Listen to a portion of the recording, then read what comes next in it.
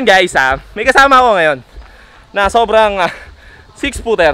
Ayan. Ayan, hello, maraming salamat.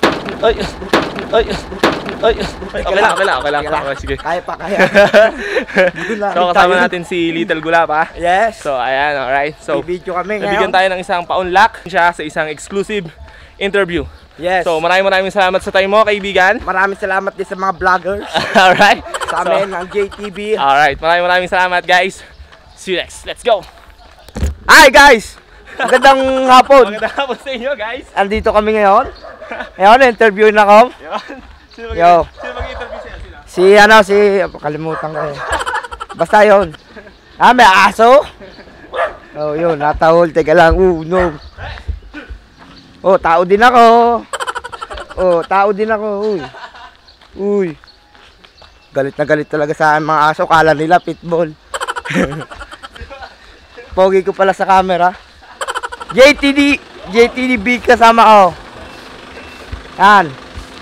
Ngayon guys. Magbablog kami. Ayan, magbablog kami. Naghahanap kami kung saan kami pwedeng mag-vlog. Kasi maingay. Ayan, ayan, ayan.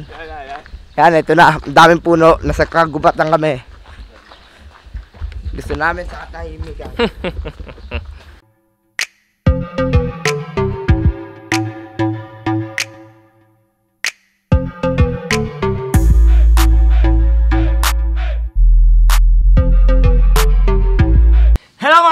katagumpay! This is your man, JTV again. Welcome to my YouTube channel. Today, napaunlakan tayo ni Little Papa ng Kabuyaw para sa isang exclusive interview. Bro, maraming maraming salamat. Tinanggap mo ang aking paunlak. so ayan guys, um, kung napapansin nyo, siya yung um, nag-viral nung ah, last last week. Yes. Last week sa um, sa Saksi. Saksi ba tama? Oh, Saksi. Saksi, So na-interview siya doon. So tatanungin natin siya ng mga konting katanungan about sa buhay niya. Bro, ano ba? Kamusta ba? Bago ka bago ka na interview.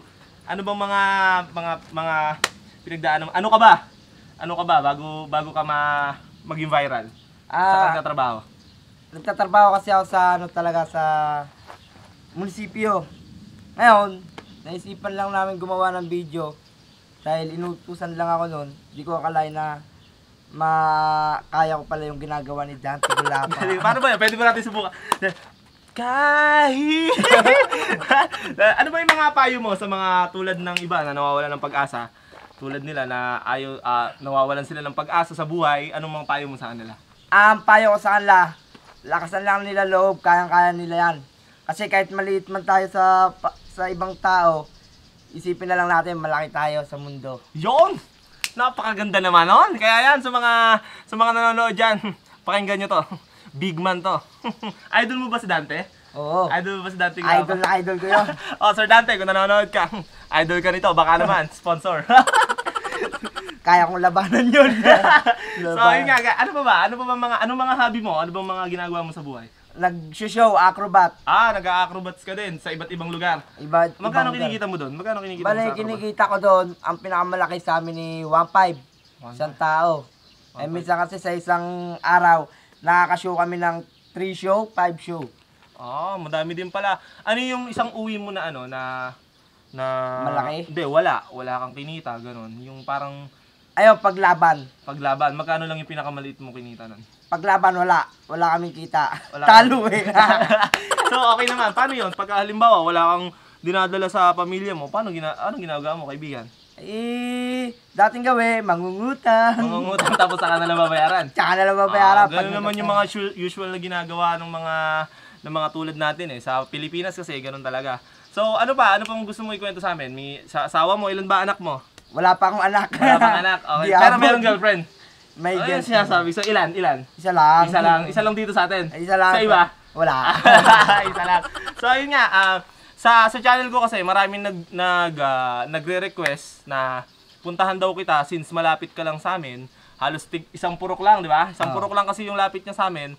So pinuntahan ko na rin siya. So nagtatrabaho pala siya sa City Hall. So so 'yon. Yun ang doon siya kumukuha ng income tapos minsan sa Acrobat, yun ang pinagkukuhanan niya ng income. So sa ano, sa sa ano ba, sa sa inyo, marami din bang ah, tulad mo sa ganyang ganyang estado, Marami bang, ah, siyempre, may mga lumalait ba? May mga, ma- ano, anong mga masasabi mo sa mga ganon? Ang masasabi ko doon, kasi yung iba, kahit nilalait ako, wala lang sa akin, wala pa kailam sa kanila. Basta ang gusto ko, mabuhay lang sa mundong ito. Yon, di ba? Maganda. Anong, anong gusto mong mensahe? Mensahe sa, mensahe sa mga gumaganon sa'yo? Anong gusto mo? yung mga gumaganon sa akin, maraming maraming salamat dahil masaya din ako. so yun nga, oh, kung may bashers tayo, dapat ganun lang, di ba? Mahalin niyo mo yung mga, mga bashers mo. So yun, alright?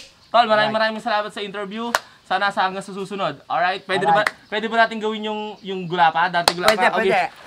Kahit yung naglalakings, ikaw ay magalit, sa'yo lang awit.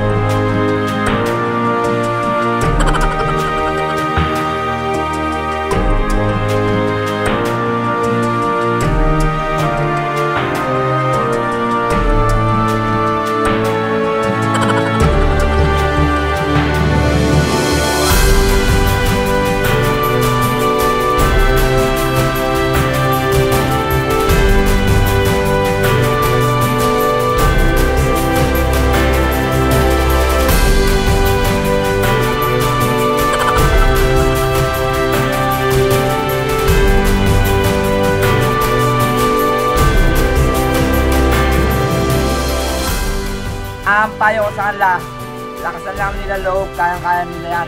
Kasi kahit maliit man tayo sa, sa ibang tao, isipin na lang natin malaki tayo sa mundo. Yon! Kahit nilalait ako, wala lang sa akin, wala pa kailan sa kanila. Basta ang gusto, ko, mabuhay na sa mundo. Yon! Yan guys, maraming maraming salamat. Ito, kasama ko si Kuya JTV. Alam kong mas lamang ako sa kanya. Ay, joke. Alright! Yan, binabati ko kayo lahat sa mga nagko-comment sa Facebook na sinasabi mukha daw akong uod. Shout out na! Shout out nga pala doon. Mga tropa mo, shout out na! Yan, shout out nga pala sa Kabuyaw Acrobat. And sa kay Bailon, yung nagawa si Lorenzo. Yan. Makakamay. Sisigaw. Grabe. Yan, maraming maraming salamat. Bush.